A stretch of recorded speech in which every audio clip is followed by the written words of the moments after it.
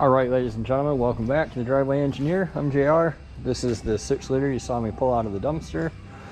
Uh, it doesn't spin, it doesn't win.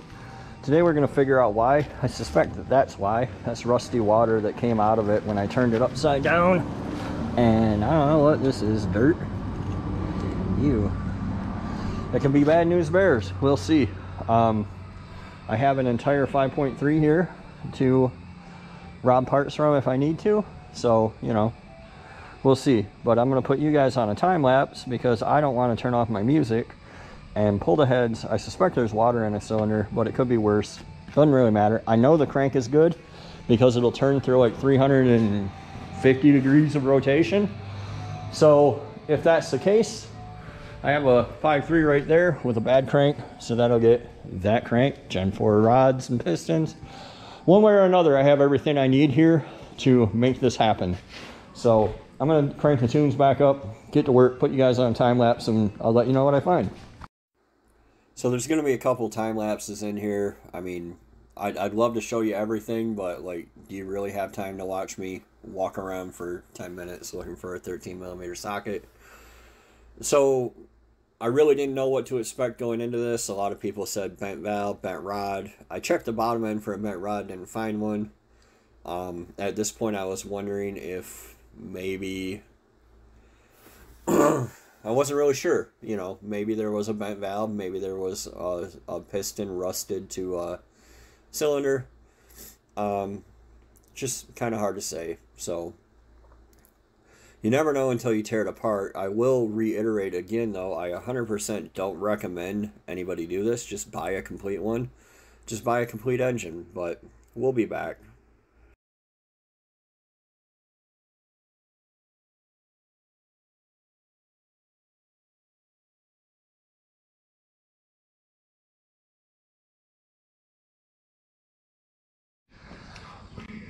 All right, so it looks like it was just too difficult to overcome how shitty the cylinders were.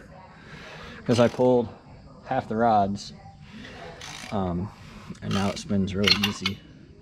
And there's nothing wrong with these bearings. Uh, they work fine. There's nothing wrong with these rods. They work straight.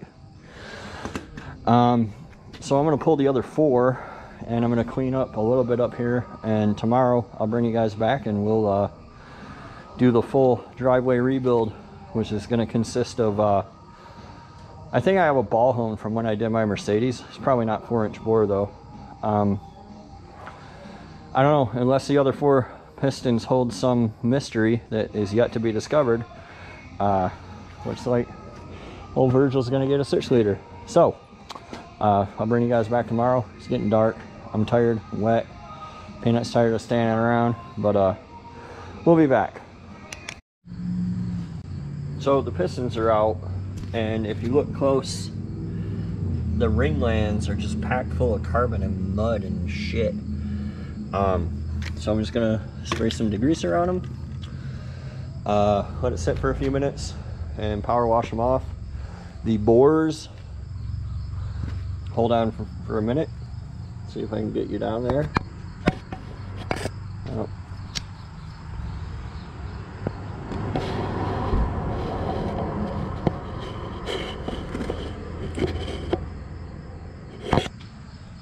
You can see at the bottom they're also caked up with carbon and stuff. Um, I have a ball hone from when I did my Mercedes. It's not the, it's not a four inch bore. So just put it in there cockeyed and ran it around a little bit to knock the shit off. Um, this thing's going back together today, as is, where is. So uh, I'll put you on a time lapse again and show you power washing the pistons and wire wheeling the deck and putting it back together.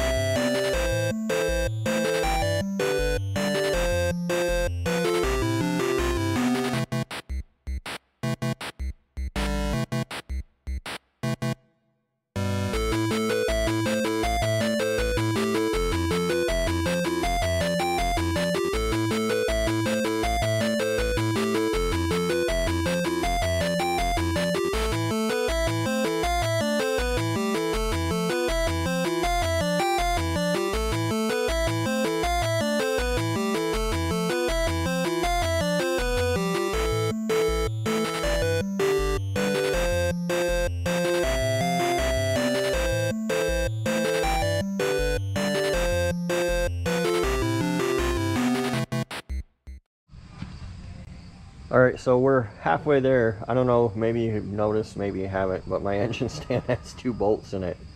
Um, I really need to pull the hoist back up here and pick it up so I can figure out how to get a third bolt in it. Um, I've been putting it off and trying to rush, but I kind of need to take care of that now. So uh, I'm gonna pause the pause the time lapse here, and but you see what I did gently wire wheel. I, I know what the comments are going to be. This guy's an idiot. You're an idiot if you grind on your deck surface, right? Like I just wire wheeled the carbon out mostly. Um, and we'll go from there. I would like, I'm not going to be able to. I have eight hours. I have to pick all that crap up. I have to get rid of this. I have to get rid of that. I have to get rid of that. Um, I have eight hours of daylight left. So, uh, not to happen today getting this running. Um, mainly because I don't have a pickup O-ring, which is the one thing that I'm to change. Uh, I don't have any oil. What else? But yeah, um, you can see that that O-ring is flat and not curved. Like it should be like an inner tube or donut. So uh, it spins fine like when it's not the cranks or the flex plates dragging. But it spins fine now. Um, so yeah I'm gonna pull the engine stand back up here get this thing picked up. All right so we've run into the first fly in the ointment here in this build. Um, see how on this second ring I can move it around. Your rings should be able to move pretty freely, um, which was the point of degreasing them. To see how I can just work them around. It's also why lining up the gaps is not all that critical because they spin in the bores. So I don't know why people say that, but people say that. Um, but anyway, this one can move. That one couldn't move, and I tried to pry it out carefully because you can stick the end in it and you know work it loose um, clean the land out and it didn't work out. It broke. So I'm gonna check see what eBay wants for a cheap set of rings um, not set one piston's worth and I'm going to replace just that ring. Unfortunately this is a six liter so these rings won't work because they're for a smaller bore. Um, so yeah I, I wouldn't have, if I found a bent rod, I wouldn't have bought a rod and piston on eBay, but I, I might do this if it's like 15 bucks or less. Um, and I'll order my O-ring at the same time. And I'm gonna pop this one in and we'll have a seven cylinder LS for now. All right, we're ready to button up this bottom end. Um, show you real quick if I can find my ratchet. I can't find my ratchet. Here it is right where I left it. Um, she spins super easy now. Not left-handed though.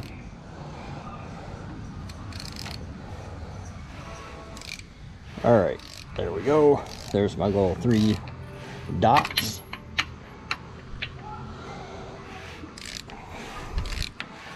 There's my little three dots.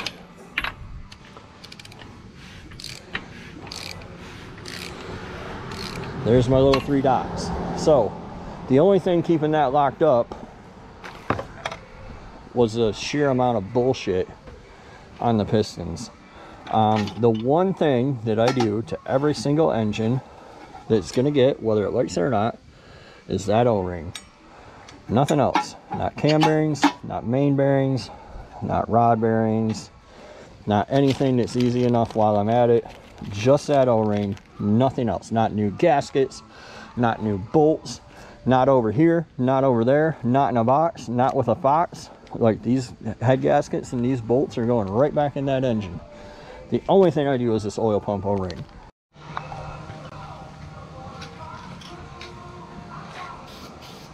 fun fact back in the day if you didn't want to use that paper style you wanted extra compression or whatever you could get what they called a steel shim, which was basically a single piece of steel.